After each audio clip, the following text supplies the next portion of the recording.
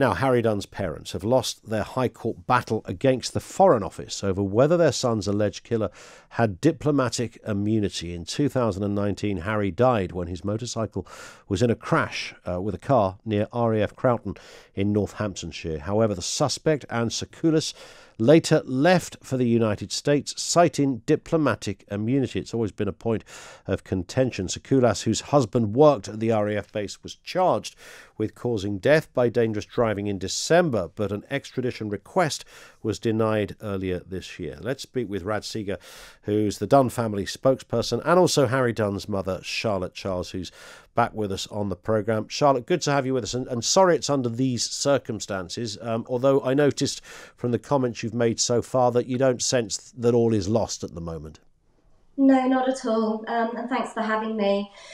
We um, we have been disappointed. It has been upsetting. Um, we've had our tears and we've had our tantrums, but our feet are firmly planted back on the ground.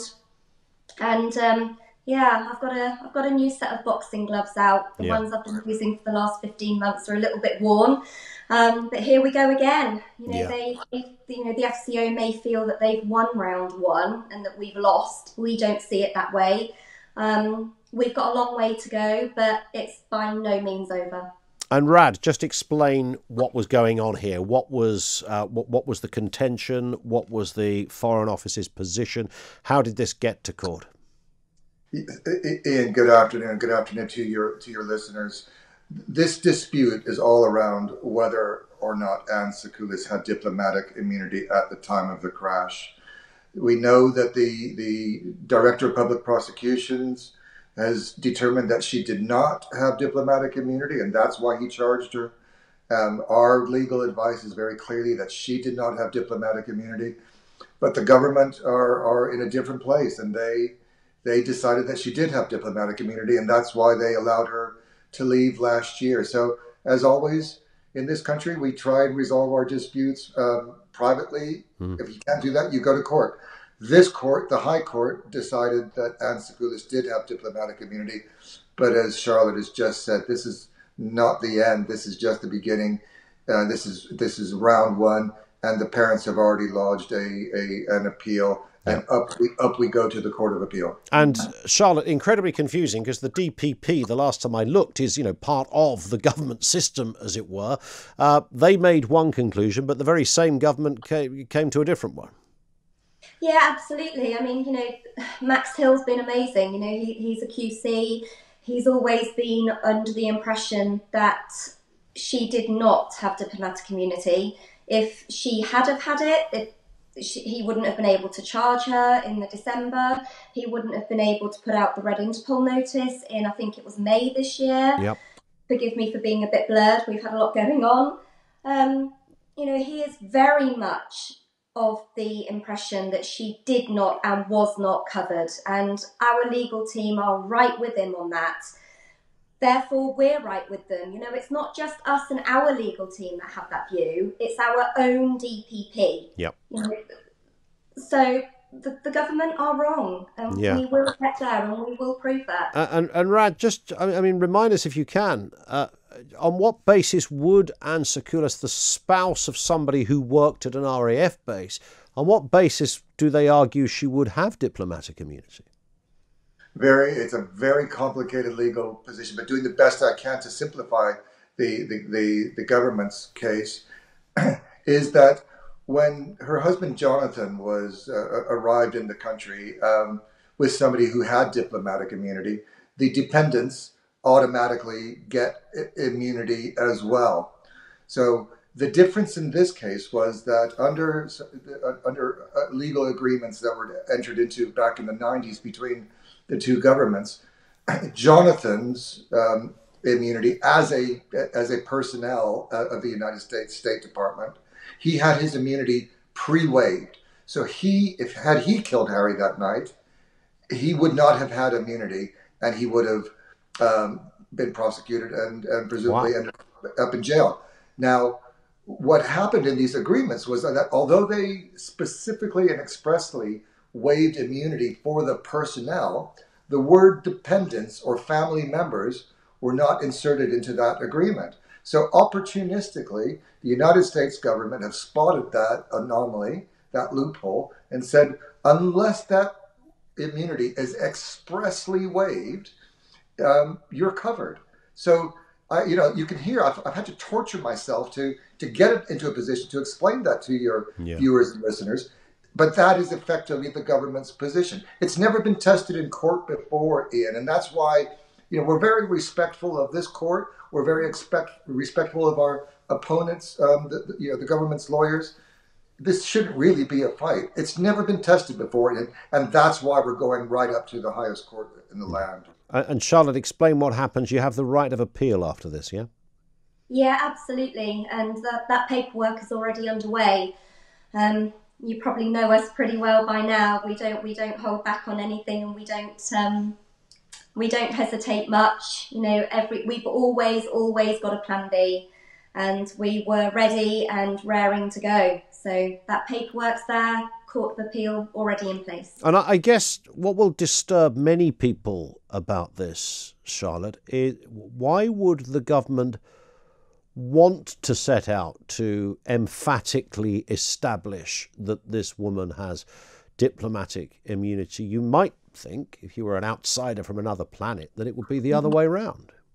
Yeah, we, we have got still got so many questions, and I'm not sure if we're ever going to get the real truth from the government as to why they are choosing to put us through this. But you know, 15 months of sheer torture. You know, we should not, under any circumstance, be sat here in 21st century Britain allowing someone to kill and walk away yeah. immunity or not, it is not there for that. It doesn't cover them for that.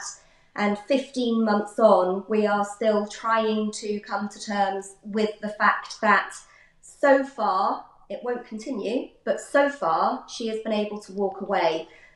It's, it's barbaric.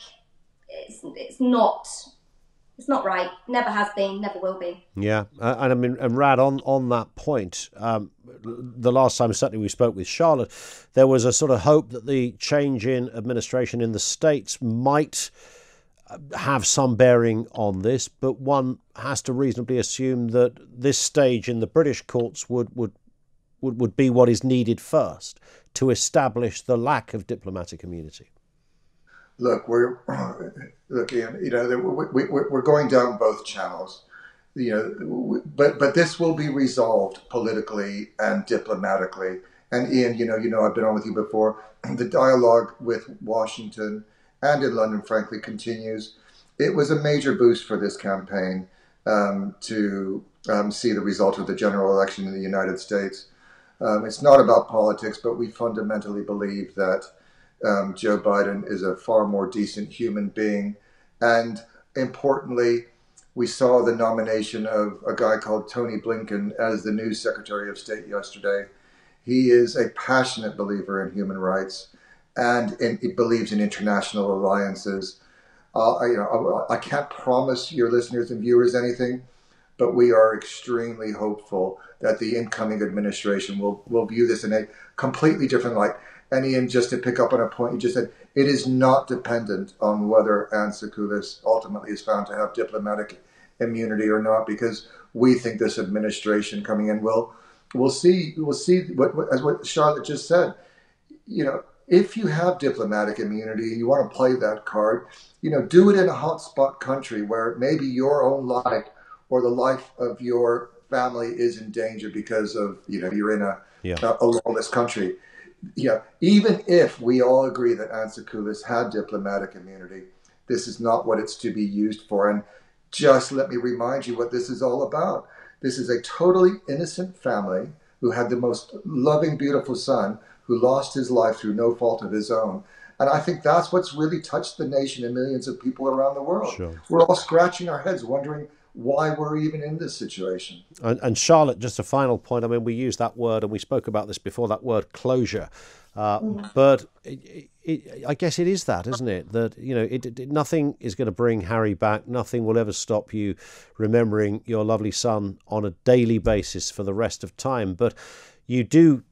One has to reasonably assume need this moment to to change in order to at least seal off this element of this tragic story. Yeah, completely. You know, everyone deserves closure and every person deserves their justice, and Harry does deserve his justice, and we deserve our closure.